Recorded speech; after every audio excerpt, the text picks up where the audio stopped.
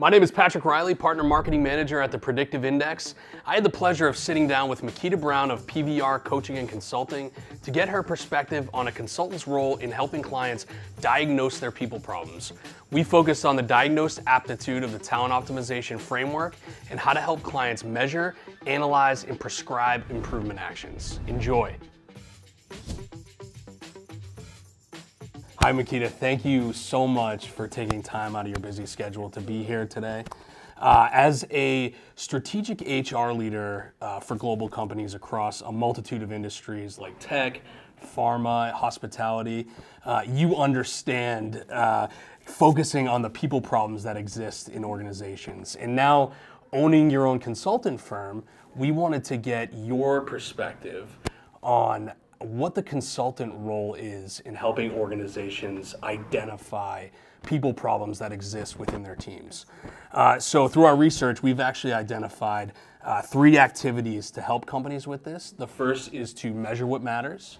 Uh, the second is to analyze uh, the data that comes back and the third is to prescribe improvement actions. So if we dive into to measuring, we know that businesses uh, monitor KPIs like revenue, spend, uh, customer retention, but unfortunately few really look at the people data. So through your work, what key people metrics do you recommend that your clients focus on? Sure. So I always like to make sure that as you look at your people metrics, they're really aligned to the strategy. So there's a lot of metrics, but you want to narrow down to the ones that really are going to be meaningful to the results you're trying to drive. And so some that come to mind just kind of generically, um, measuring headcount looking at turnover, how well are you retaining your people or losing them? Um, also, diversity. Uh, when we think about diversity of thought, particularly for global organizations, mm-hmm. and recognizing the generational difference, you at least want to have a pulse on what your organization looks like.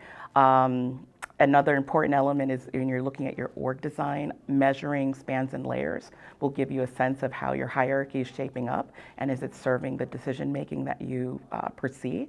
And then lastly, engagement. And engagement mm-hmm. has a lot of things underneath that, but definitely one that keeps a pulse to how your employees are feeling about various elements of their day to day, how they're connecting to work, their team, and others in the organization. Now, do you actively use tools to help measure these things? If so, could you give us some examples? Sure. So I always say my favorite is Excel. It's, it's, it's really just getting access to the data, so it doesn't have to be in a complicated format. Um, I love the pivot table format because it allows me to drill down and connect in terms of looking across um, different factors of that data or the populations that show up. Mm-hmm. The other uh, side of it, though, if you wanted to be a little more sophisticated, there's a lot of workforce analytics packages. And actually, my workforce analytics colleagues are my best friends because they really know how not only to look at the people metrics, but connecting it to some of the business factors that you might not think of to really help inform is the metric effective. So, for example, um, you may look at engagement overall, but really understanding how engagement connects to your most productive organizations or departments, again, the analytical sophistication might give you a little more flavor to that. So anything that would give you a good summary, drill yeah. down, um, and then again, how, how they affect certain populations. So the flexibility of having the overview and then getting deep into the data. Yes, absolutely. So can you give us an example of a time uh, that a client's performance suffered by not having sufficient people data to either back up a key initiative or, or decisions? Sure, and I'll, I'll stay in the talent management space because that's really where I specialize, but thinking about succession planning as an example. We often think about succession plans, and if all the boxes are filled, we feel like check, we have a plan.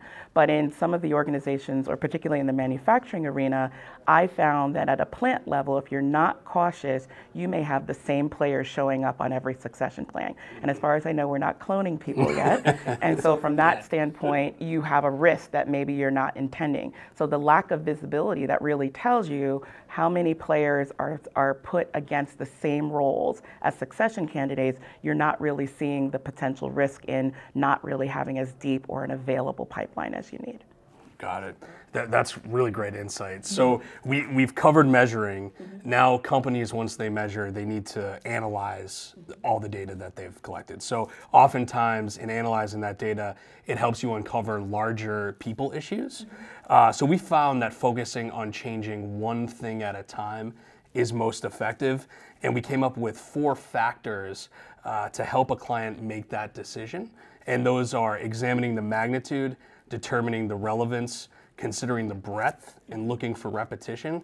Does that approach resonate with you? It does. And actually, um, when you think about turnover, if you just look at it overall, it's going to simply give you a high or low. To really understand the magnitude is where is that turnover happening? If it's happening in your research organization who are currently making it up in the last phases to a FDA approval, you really want to make sure you're not losing some of the subject matter expertise that is associated with that. So maybe looking at turnover by a job role or a sub-function, those are some areas that again give you more insight. And so that magnitude piece, or rather relevance, right. it's again, how relevant is that turnover number to your strategy and what's behind it? Is it your researcher? Is it your sales force? Those examples. Excellent. And so, so now we've measured we've analyzed. And now it's your job as the consultant uh, that, to come in and prescribe some improvement actions uh, that a client can take to, to really rectify the issues and correct those sure. things. So, can you provide some examples